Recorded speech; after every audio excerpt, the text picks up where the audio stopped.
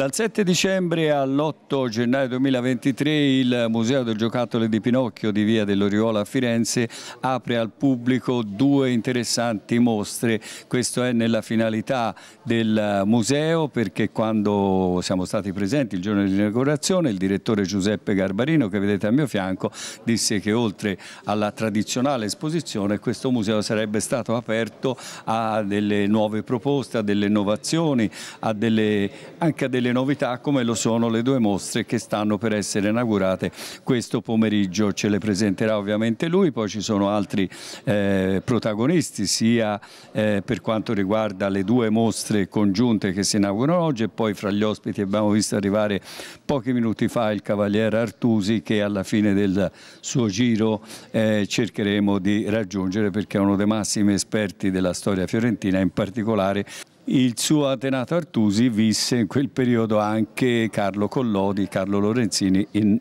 arte Collodi. E Giuseppe Garbari. Bene, grazie a tutti. Eh, questa sera abbiamo l'occasione di inaugurare due mostre appunto per un periodo natalizio. Una è appunto con, qui con l'amico Guido Ceccantini che è un collezionista di libri, di libri di Pinocchio libri di Pinocchio ma in dialetto. Eh, Quindi... Questa è l'assoluta novità perché libri di Pinocchio ovviamente ne esistono migliaia, forse mil...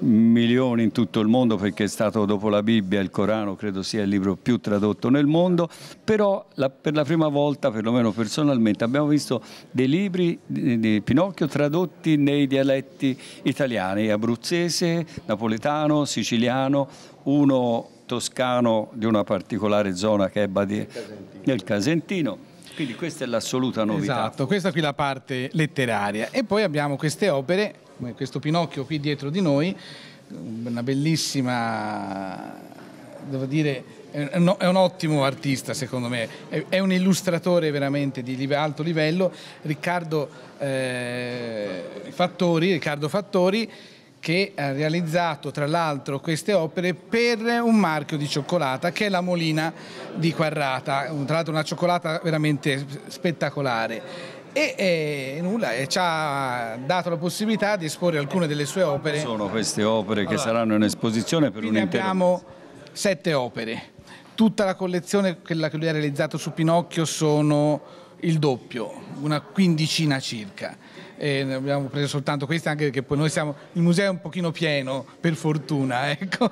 però abbiamo preso quelle più significative. Allora, Giuseppe, prima di passare alle successive interviste ricorda ai telespettatori che il museo sarà aperto in quali orari, in quali giorni, soprattutto durante le festività. Allora, il museo è aperto tutti i giorni, dalle 10 alle 18. Ora, sotto il periodo natalizio, uno può, può verificare sul nostro sito, ecco, giocattolo.it, la pagina Facebook, oppure sulla pagina Facebook eh, che è appunto Museo del Giocattolo di Pinocchio o ancora più semplicemente digitandolo su Google dove appare appunto tutti gli orari di apertura perché il giorno di Natale saremo chiusi e comunque anche per, per dare un momento di, eh, famiglia, di essere in famiglia più tranquillamente. E anche la vigilia il pomeriggio saremo chiusi e come avevamo detto in apertura dei servizi avevamo visto entrare nel museo il cavaliere Luciano Artusi, ha finito il suo giro, la sua visita, è la prima volta che lo vede, ovviamente lo vede con occhi un po' diversi da un visitatore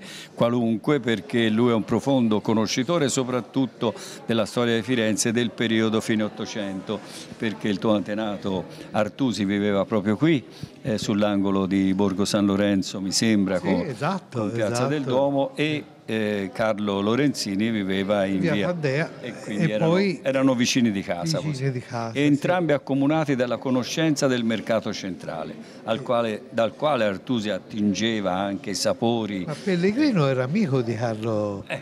di, di Lorenzini e frequentavano con Mantegazza il, il circolo dei risorti che aveva sede in eh, via Cavour dove c'è ora il Consiglio della Regione. Al primo piano c'era il famoso eh, Palazzo Bastogi. Palazzo Bastogi, il Circolo dei Risorti, che era un circolo intellettuale eh, dove giocavano ai Sibillone che era quel gioco che andava di moda, ora, ora va di moda il burraco, e invece ma non con le carte, era un gioco di intellettuali, il sibillone, perché si riunivano eh, questi personaggi e si davano un tema, ad esempio eh, la religione, l'amore, il, eh, la morte, qualcosa del genere e poi chiamavano un bambino o una bambina che entrando doveva dire una sola parola.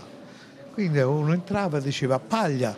Ecco, allora le disquisizioni, ognuno per proprio conto, doveva con questa parola paglia doveva riportarsi al concetto dell'amore e così. E questo era un gioco che facevano anche molto da intellettuali diciamo. molto da intellettuali ma faceva Pellegrino e lo faceva anche Lorenzini allora al di là di questo ora hai concluso la tua visita al museo e ci può dare un tuo primo giudizio ecco mi sono sentito ritornare bambino perché tanti di questi giocattoli l'ho avuti anch'io e quindi la frottola, il, il trenini, automobiline, automobiline biciclettine, tricicli. Sì, queste cose qui veramente, ma poi conservate che sembrano tolte di vetrina, insomma, conservate con quell'amore che solamente i collezionisti hanno, certo. vero? E quindi è un museo molto fresco, molto brillante. Però ci bello. sono anche balocchi che risalgono al 1600, 1700, certo. quindi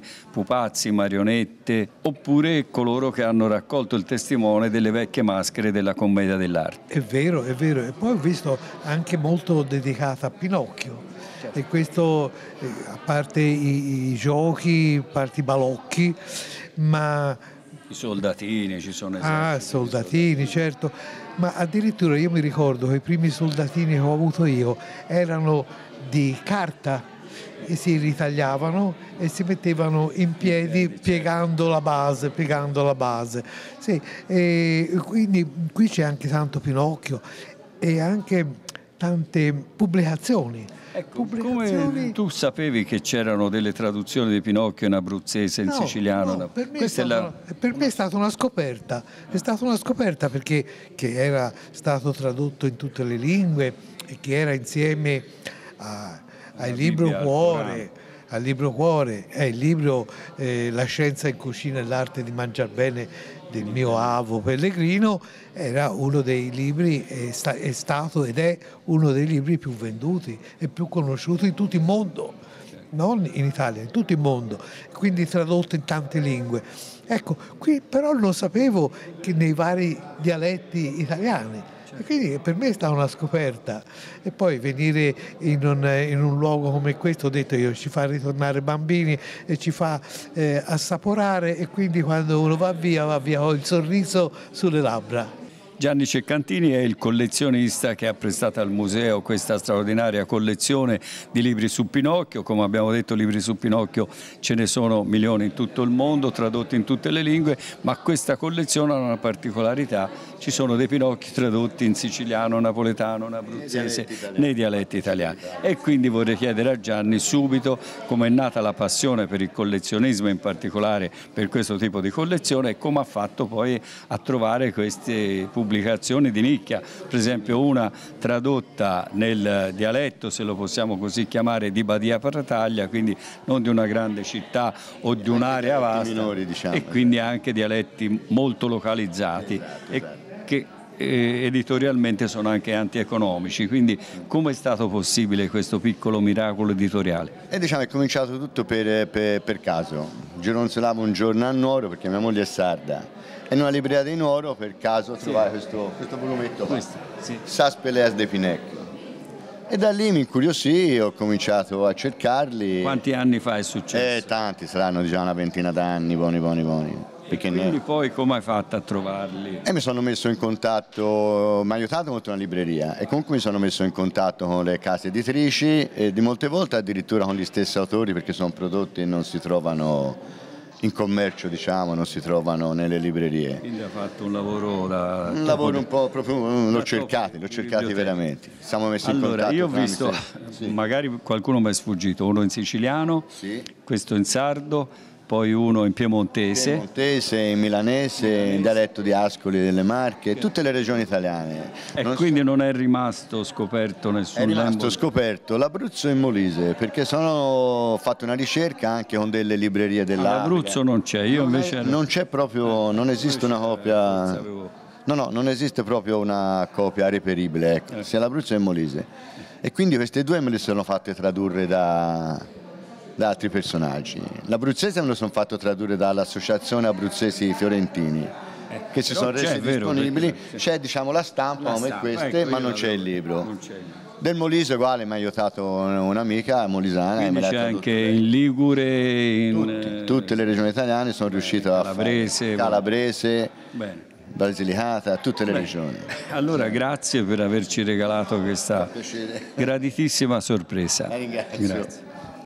Con l'arrivo di Sara Funaro, assessore al welfare del Comune di Firenze, si inaugura ufficialmente la mostra e quindi noi concludiamo il servizio con il suo intervento.